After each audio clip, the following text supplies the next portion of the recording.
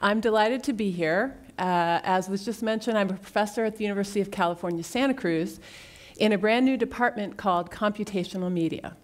And we're in the School of Engineering, and we combine computer science and innovation in media forms that involve computation. And games are a great example of this kind of medium. They combine cutting edge programming techniques with the highest artistry. In my research at UC Santa Cruz, I build games and playful experiences that use technology to take us to new places in how we feel and how we engage with one another. And I'm very passionate about making sure technology helps us to build bridges and bonds with one another. I think this takes care and consideration to make happen. This is a snapshot of an article that was on the cover of my Fields magazine this summer. That's a great summary of the kinds of prototypes that I build in my lab. So if any of you students are curious about this, afterwards you can tweet to me or you can email me and I'll give you a copy of the article. But what I came here to talk to you about today is a topic that's near and dear to my heart that I actually just finished a book about how games move us.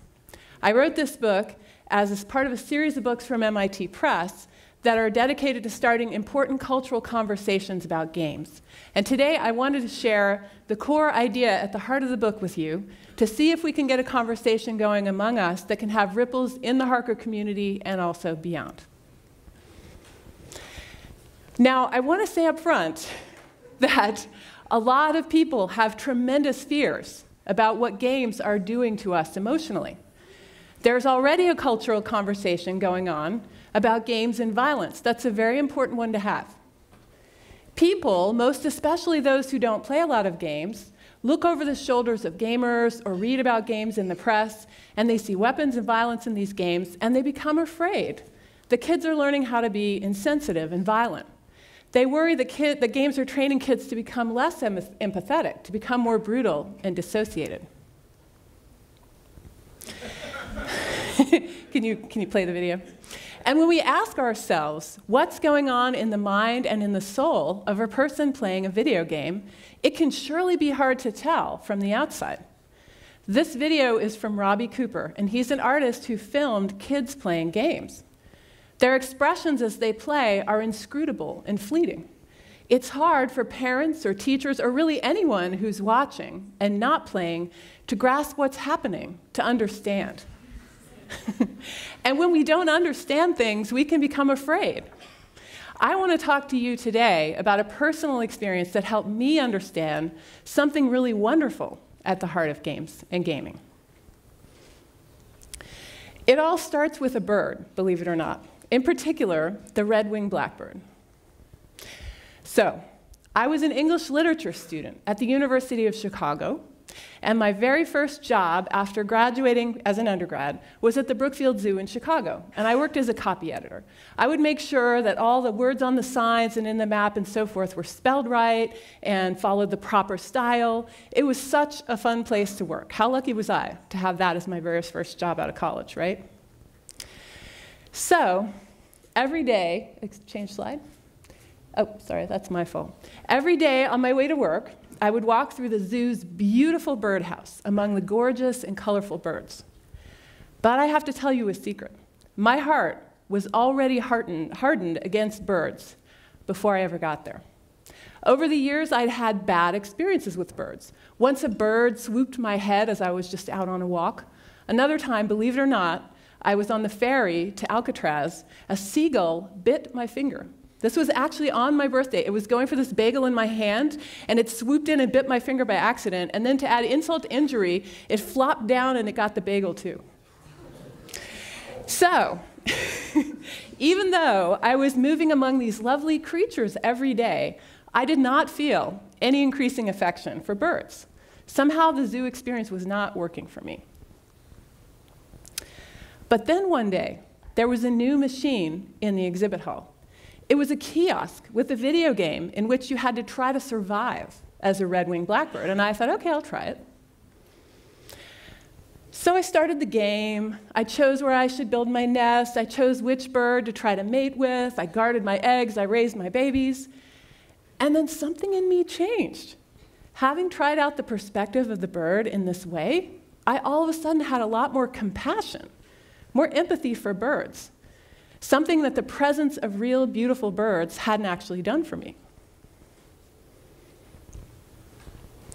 It reminded me of the power of great literature to move us, to get us to empathize with someone else, to walk in their shoes. And suddenly I wanted to get to the bottom of what was going on in this game. What made it work? How did it create those feelings in me so easily?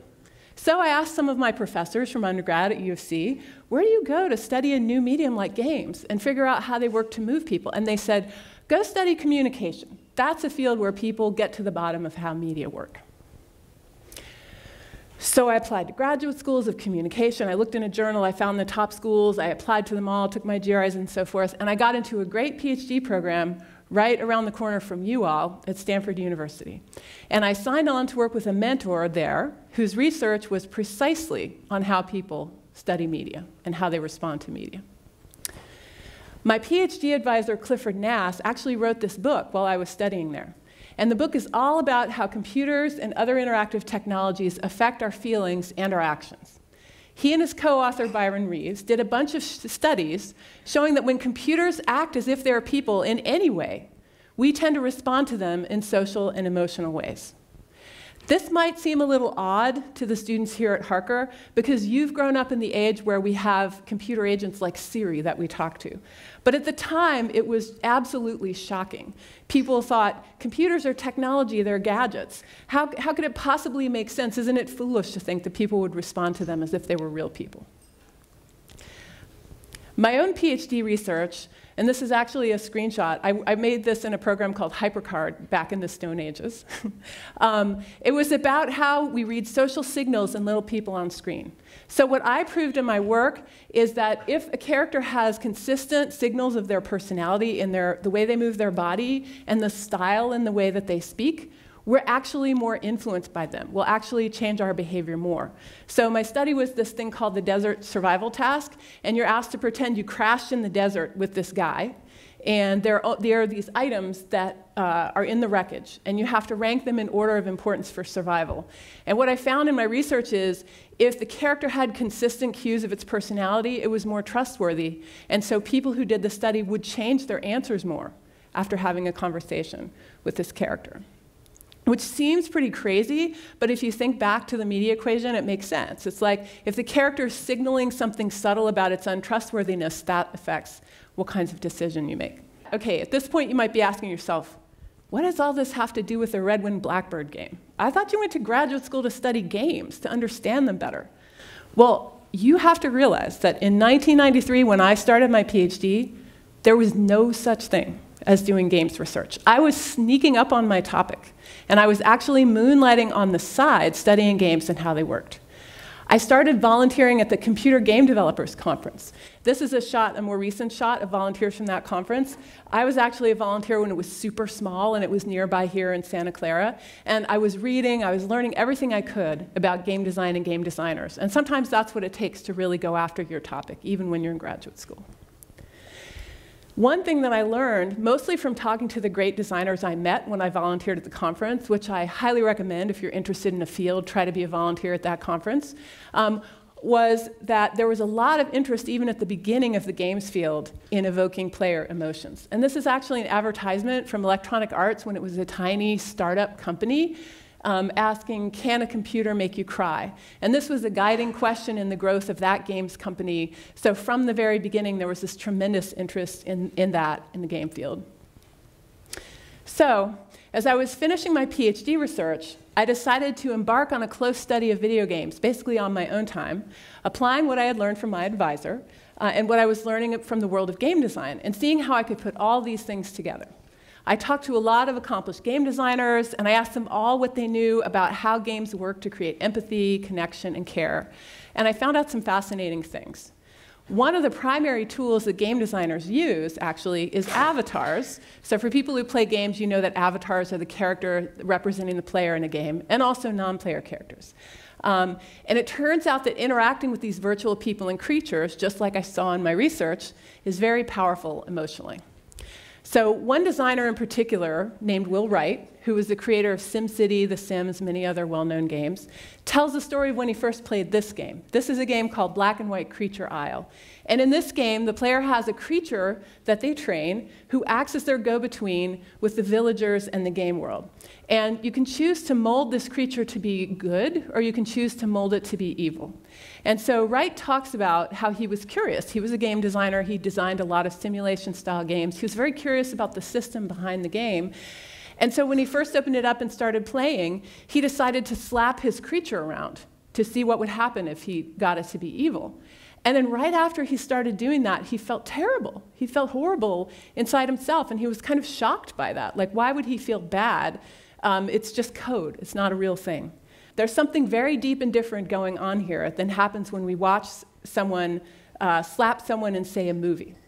In a game, the player has a choice of what to do, and these choices have consequences.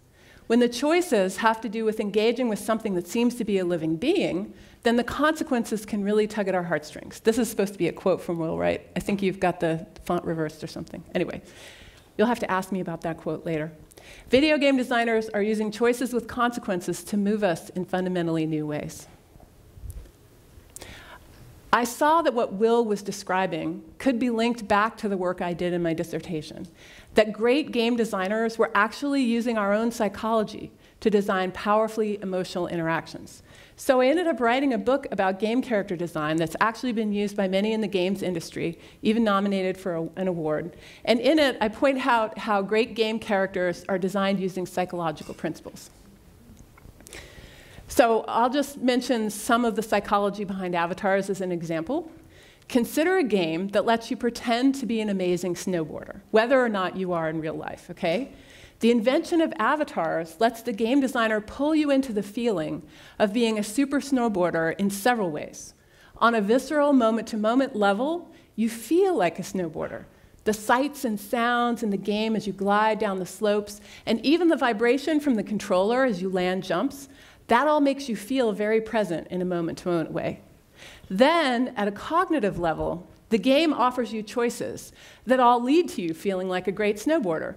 Which trick will I try? Which jump will I go over? Not, do I have my gear on right? Or how cold will it be when I face plant?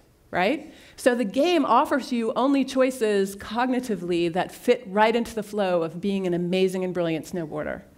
And then at a social level, you see your avatar dressed in the latest snowboarding gear with the coolest board, moving gracefully in front of a, a, cheerful and cheering virtual crowd. That puts you even more deeply into character at a social level. And all of this creates a pretty powerful fantasy for the player of really being there and being that person in action, right?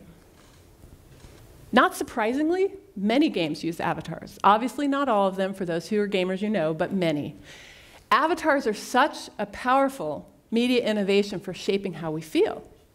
Most often, games use avatars to make us feel powerful and heroic. So here are some player-created avatars from a, a, wonderful game, massively multiplayer game that had a very long run that is no longer, you can no longer play it, um, City of Heroes.